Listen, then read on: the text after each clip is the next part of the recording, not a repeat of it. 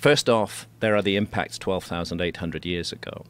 That causes this cataclysm centered on North America, but global. And global temperature plummets. It, I mean, people who talk about global warming or today, what, what happened, the change in temperature 12,800 years ago is just stunning. And this is undeniable. This is undeniable. Detailed this in depth Yes. the last time he was here abs- with mainstream scientific data that's irrefutable. Absolutely. Core samples, ice core samples, Absolutely. along those lines. And they call it, Jill just call it the Younger Dryas, and it's a mm-hmm. 1,200 year period.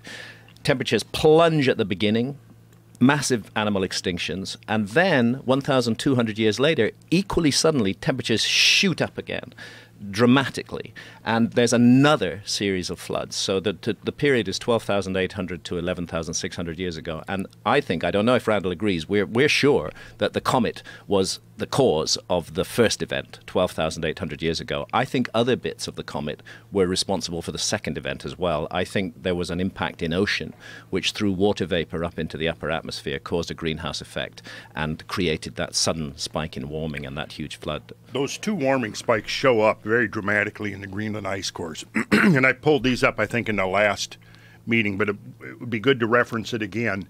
And um, basically, what you see here is warming spike number one is here, and warming spike number two is here. And these were extreme. You know, we're talking about 10, 10 degrees centigrade, roughly, in perhaps a year or two. And this translates into about 17 or 18 degrees Fahrenheit. So we're talking many times greater than the, the warming of the last century or two um, instantly, basically just like that. And this this is this this what we see here brackets this this whole ep- episode of this this period of transition from the glacial age to this nice warm Holocene interglacial age that we're in now. And you know, Graham brought up about how this sits right at the very foundation of our modern history. And if you look at whether it's the dispersion of languages, the beginning of agriculture, the first cities, the domestication of animals, what you see over and over again is the same dates showing up, you know, eight, nine, ten thousand years ago. And in this model that, that we're describing here, we're not really seeing the genesis of civilization. We're seeing the, the rebooting of hmm. civilization in the aftermath of these events. That It's I the think- only thing that makes sense. This Yeah. is this is this is we have now we have now the data that makes sense of what previously has been very mysterious and unexplained evidence. people have a hard time accepting some of this new information. I have a friend who's a scientist, and uh, the last time you were on, she said to me, "Did you have a climate denier on your show?" A climate change denier, and I said he's definitely not denying it. No, no.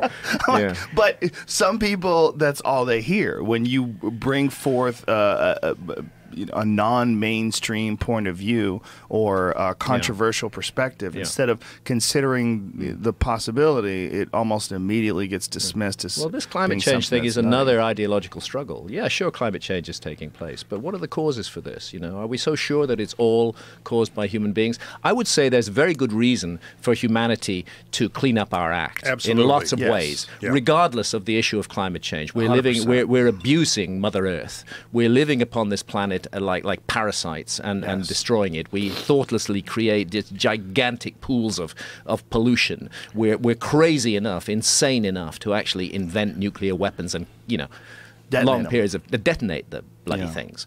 You, you, you know, this is there's lots about our behavior that we need to fix because it's right to fix it. Philosophically right. We should not behave that way. We should not behave that way to one another. We should not behave that way to planet Earth. But to say that we need to fix our behavior because of global warming, that's an ideological argument. And that argument remains to be properly tested. Yes, global warming is occurring, but are we the cause of it or is something else, some, some grander scale cosmic effect involved in this? we, we, we talked about that considerably, and I noticed in a lot of the comments from from our last discussion, most of the critical comments were people, you know, not liking the idea that I had questioned the dogma of global warming. But there are some facts that you can't escape. You know, the global warming began 200 years ago.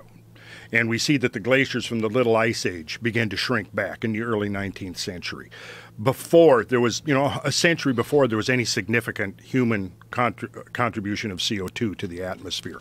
So something was driving that warming that began. And it's important to realize that the Little Ice Age was probably the coldest period since the end of the Great Ice Age in fact, the data overwhelmingly supports that, and that the glaciers grew to their largest extent around the planet in 10,000 years. So, when we're talking about glacier recession, it's important to understand what the baseline is. Our baseline in this case is the biggest the glaciers have been in 10,000 years. And what's interesting, and this is going on right now, as the glaciers have been receding, geologists and biologists and, and glaciologists and so forth have been studying. Um, the landscapes that are being revealed as the ice shrinks back. And you know what they're finding is the remains of forests that had been overrun by the little ice age glaciers. Up, you know, and, and, and peat bogs and things that would suggest that prior to the onset of the little ice age, those valleys that were filled with ice from roughly 1400 to 1800 were actually forested because the ice came down and overran these forests, and now it's receding back and revealing that there were forests there.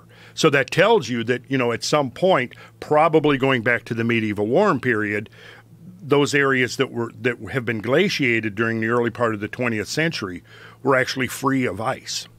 And so, you know, the climate has been extremely dynamic. dynamic That's the thing yeah. we have to emphasize, all by itself without any help from mm. humans and this is what I've been saying is that we have to look at that and, and realize that, yeah, humans are a factor.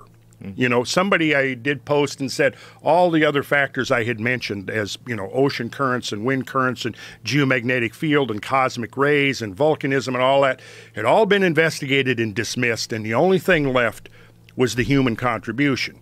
But, you know, to me, that's really, we're putting all our eggs in that basket, and that could turn out to be very dangerous because we're so focused now on our own contribution that we might be overlooking the fact that there have been natural factors driving climate change over and over and over again. I mean, because I still have not heard any consensus on what has caused the planet to first go into an ice age and come back out of an ice age. And I think that what Graham and I are talking about actually presents a, a possible solution to what could have brought this planet out of the ice age, something on a grand cosmic scale.